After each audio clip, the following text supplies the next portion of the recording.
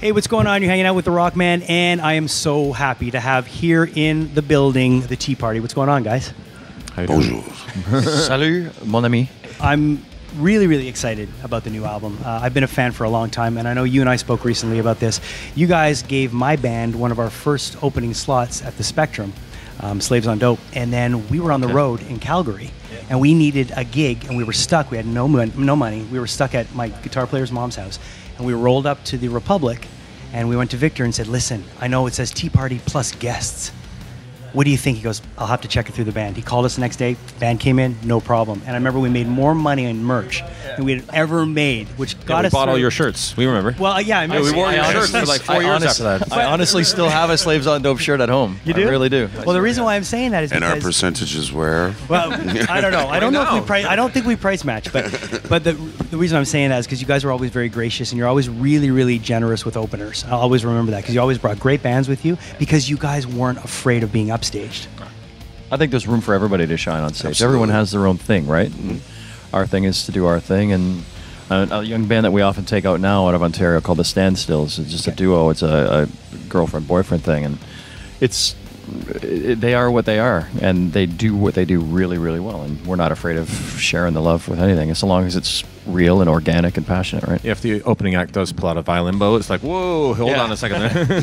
Did you just slip Kashmir in the middle of that song because we were going to do that? You guys had a little bit of a break where you didn't talk to each other, and um, and I've been through So that nice. myself. How nice is it to come back to it? This it, it- you got to come back at this point with a different outlook and a, and, a, and a newfound love for it, right? Um, to tell you the truth, I mean, once we got over um, our, our differences, which really didn't take that long, um, but I could say, and I think the, the two boys would agree with me, is that um, our friendship probably now is stronger than it's ever been, you know? And a lot of love, you know, a lot of respect, and um, and in, in the band is re- like the music that we're making, both on stage and on the records, you know, it's just reflecting that. So. Uh, the Australia thing. I mean, I know you're you're a resident of Australia now. Mm-hmm. You live there. How cool is it for you guys to go over to Australia? And uh, I know you've been there many times, but to go there now that he's got a home base and see the reaction from the fans. well, uh, it's cool on many levels, but to be paid to go on vacation is pretty nice. Exactly, right? it's an amazing country, and just yeah, people are so passionate about music there, and just the national radio station played our first single straight out of the gate, so we had a following instantaneously over there, and just we've built it ever since on the quality of our live shows. being a Canadian band, you didn't really ever have that big American machine. And I don't want to talk, you know, that all American bands get that big push. No, no. But more often than not, they end up in Australia uh, only to fall flat on their face because they got that big machine behind them. They get all hyped up and then it fizzles live. Whereas we just kind of came in, three young guys out of Canada.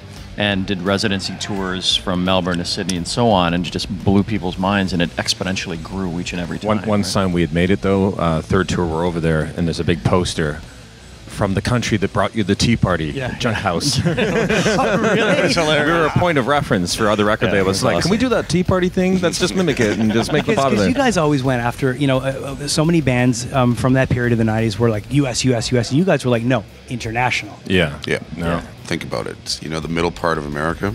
Do you really think the Tea Party's music's going to go down well?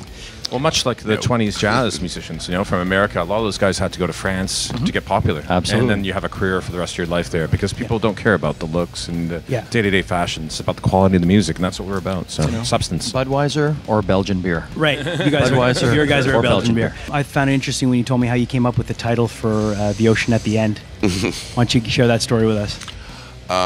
Well, yes, okay. Well, Perth um, is basically, you know, uh, as far as the Western world is concerned, right? It's uh, you can't go any further. Right. Like, that is it. You know, and the Indian Ocean being there, and um, and it was a point to, like I knew I was going back to Perth. I was leaving um, the east coast of Australia and going back to Perth and to be with my my little boy and all that. It just it just made sense, you know, the ocean at the end, but also like the ocean at the end is. Um, I believe, anyways, it's a metaphor for a new beginning. You Right. know what I mean? Because we're okay. There it is, right? But now we're setting sail on that ocean. Absolutely. So it's like, you know, I, I would, I truly believe that with the Tea Party, the best is yet to come. Uh, you know what? And after listening to the album, I have to agree too. And it's it's great to see um, bands from your generation coming back so strong with such great releases. You know, it, it, it really is. Um, it really has has a lot to, to say about the music that was coming out in the '90s because I really believe the '90s was an amazing decade for music. Yeah, and the nice part about it, I think, for us is we're not trying to to create something new. We're we're just doing what we do. You guys know have what I always mean? been like that. You guys Yeah. just do what you do, and Yeah. you don't pay attention to any of the comparisons. But you guys are amazing. You know, you guys you. were always really, really a solid Really? band. What else do you think?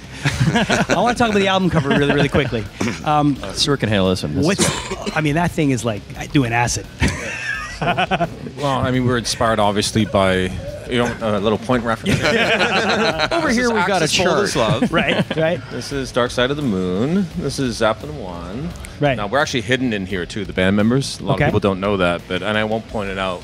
Exactly. And there's like a there's, there's like a Monty Python thing going on here. What's that? I mean, it's, It's a like- collage. Yeah. We wanted to do something that you could put the album on for 60 minutes. Yeah, And then and look at it. And then look at this for 60 minutes. Tripping balls. yeah. Well, that's it.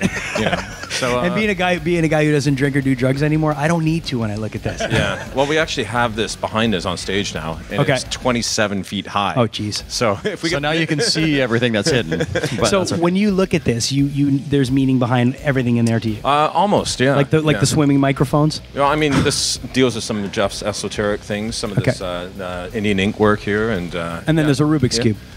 Well, you know, we were children of the '80s as well, I guess. So. Still haven't figured that one out. Well, look, guys, I want to thank you so much for taking the time and coming down to CHOM. Uh, we've loved you from day one, you know that, and Yeah. uh, and it's great to see you guys in Montreal. And please keep in touch with us and keep coming back. And I, I believe this is That's our this favorite is- city to play in the world. Well, we talk and- about Montreal in Australia. Well, it's The it's, it's like a second home for you Yeah. guys, Yeah. and uh, and I love that analogy of setting sail because Yeah. I think you guys have to set sail and keep doing it. It's important. We need bands like you around. So We will do it. awesome. Nice man. Tea party, yeah, CHOM. Don't leave brother hanging. Sorry.